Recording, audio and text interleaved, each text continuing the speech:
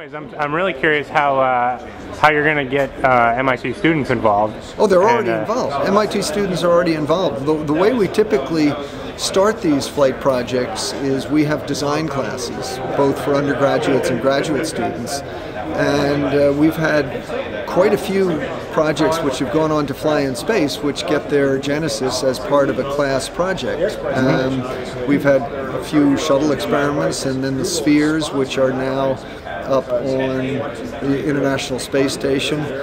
The students don't end up building the actual flight hardware by and large. Um, for there, we, we get aerospace professionals who, you know, have experience. Although the students work with them and play a part in testing and mission planning and operations. You know, there's nothing that's more exciting for, for a student interested in space than, you know, to get it, get your hands on, touch space, so to speak.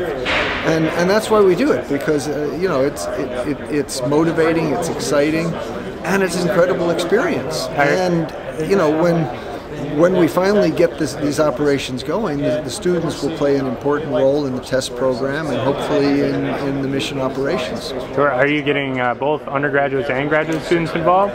Uh, we are, and, and this this spring we were, we're going to try an experiment of, of, having a combined graduate undergraduate course, and the graduate students will sort of be the team leaders, and that I think will be, uh, in in addition to giving them technical experience, it will give them some organizational experience, and you know, we're interested in developing engineering leadership skills.